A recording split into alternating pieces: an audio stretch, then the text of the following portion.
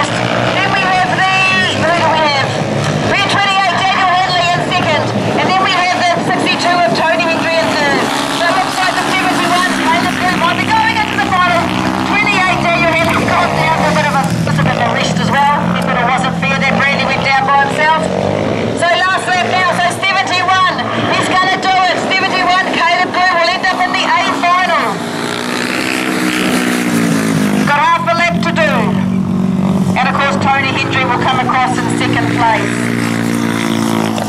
So how's that? Oh, come on, Caleb. To go into the A final with 71, Caleb Blue, with a time of 111.12. He'll need to pick that pace up a bit in that A final, 111.12.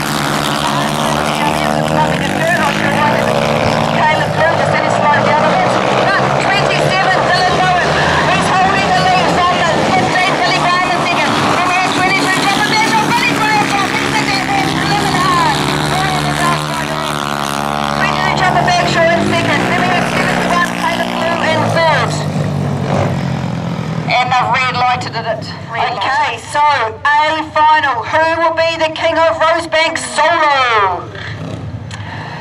71 Caleb Glue, who's got quicker and quicker and quicker as the day's gone. He's been gating very, very well.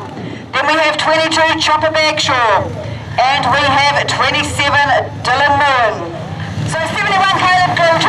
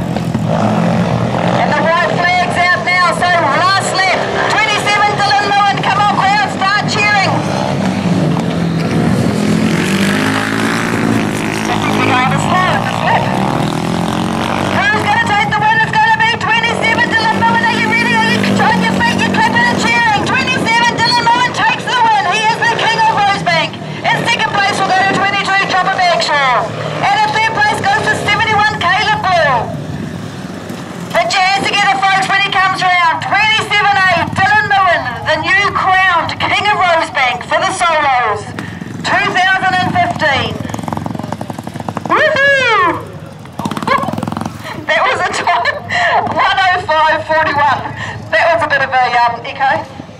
I hope someone's prepared to get a, a fresh bucket of water if they deal to him. He hasn't realised he's going to do it. No, he's going to do it. No, he's not.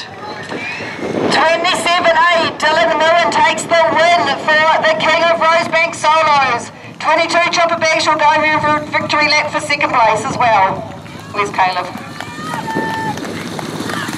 So well done, Dylan Millen. Come on, guys, on the hill, put your hands together, give him a clap. Woo! Yeah, let's see if Dylan did see the bucket as he came past. If he has seen it, he probably will just throw the checker flag and go. If he's got any brains, he will. Has he seen it? He's, come, he's coming wide, he's coming wide. Has he seen it? He's coming wide. No, he hasn't, he's not even looking. Right, let's hope someone hasn't got that gate right on the start line and doesn't want a wet gate because she's going to be wet. Yeah, Christmas.